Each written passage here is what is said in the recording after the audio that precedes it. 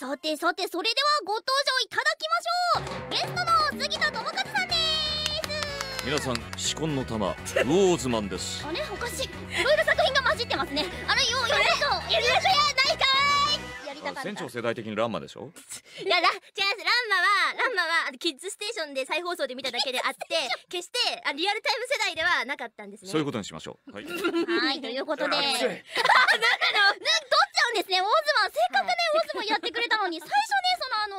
手にさついてるからさあそう最初あのウルヴァリンかと思ったらそうヘルメット出てきたから。これはベアクローだ。そう。いやわかんないんですこれが出たままだと日常生活がままならん。ウォーズマン握手会。外していいですよ。いつもありがとう。ああのいつも。突き刺さる。んだな刺さる。刺さる誰も握手してくれない。うん。うんそりゃそうでしょうね。悲しいなオーウズマンォーズマンネイルサロン。はい。どどうしたらいいこれ。ネイルサロンに来ました。はい。えベアクローの上から塗ってくれない？えウォーズマン止めないといつまでもやるよ。めっちゃ聞いてたかった。ずっと。ウォーズマン生態。やったもう一回。はいじゃあうつ伏せになってください。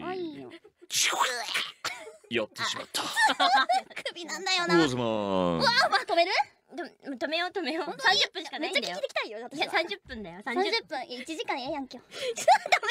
はいということで改めまして。始めはいよろしくお願いします。はい。あ一問一答形式でお答えいただきたいと思います。はい。ということでそれではそこでは一問一答スタートカーンはい行きましょう。じゃあ好きな食べ物は？女。わーいいっすね。スコダ動物は？メス。好きなファッションは？えっと侍のアーティファクト2侍の裸じゃ裸以外っていう方もいましたはい え自分の中でスコダチャームポイントは？まつげが長いんで女装の時有利。あなんか長い確かに。えーここにいると癒されるなというスポットはどこ？えっとウォシュレットが直撃した時。今一応スコダマイブームは？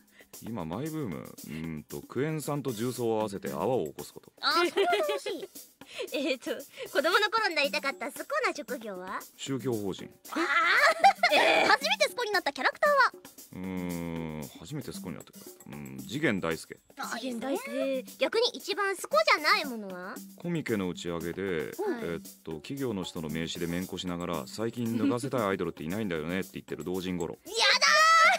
えー、最後にあなたにとってオタ活とは？作品よりも自分を前に出さないこと。あー。なるほなるどほど